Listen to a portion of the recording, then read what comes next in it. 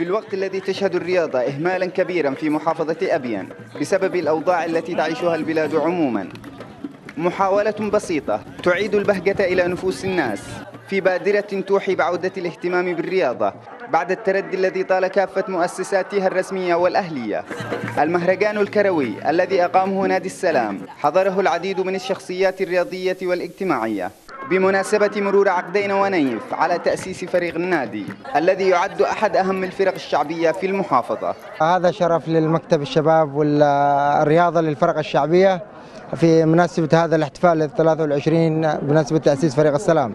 ونحن نشكر كل القيادات المحافظة والاتحادات والشخصيات السياسية والرياضية والثقافية والاجتماعية على حضورها اليوم. الاحتفال الكروي أيضا كان إعلانا عن بدء تدشين بطولة الفرق الشعبية بالمحافظة وبدأ بمباراة جمعت بين فريقي السلام وسد باتيس.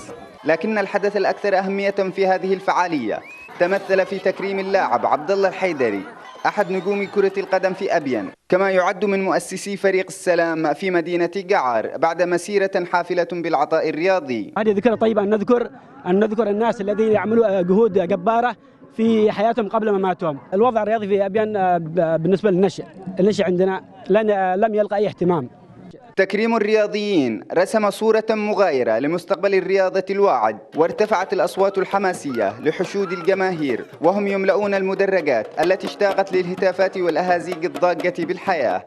لطفي إبراهيم قناة بلقيس أبيان.